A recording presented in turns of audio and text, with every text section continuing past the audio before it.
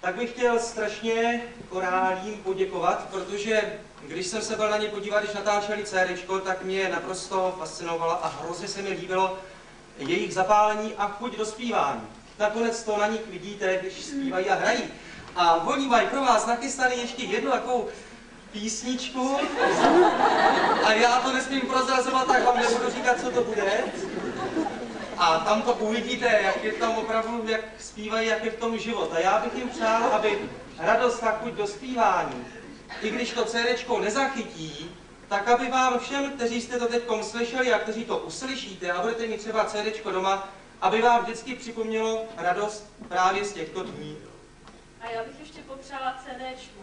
Radost hlavně všem posluchačům, radost toho, aby jste měli i vy radost, pak popřát CDčku, aby si pořídilo dalšího sourozence, přeci nezůstane takhle dlouho samo, byla by to škoda. No a potom mu přeju, aby šlo také na odbyt.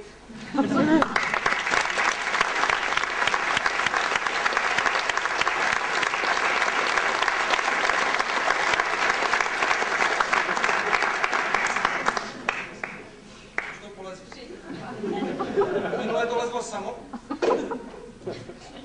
A my ty brejle. Já jsem přece rozvyklý otvírat to víno.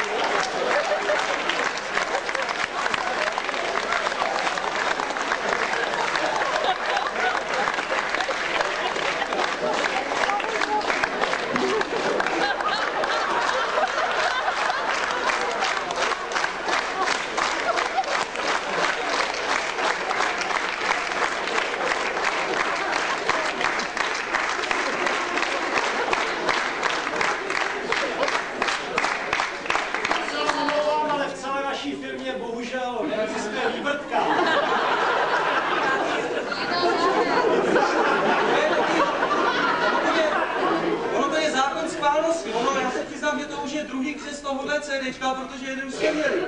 A tam jsem ten špun nemohl udržet. Před toho, co jsem povídal.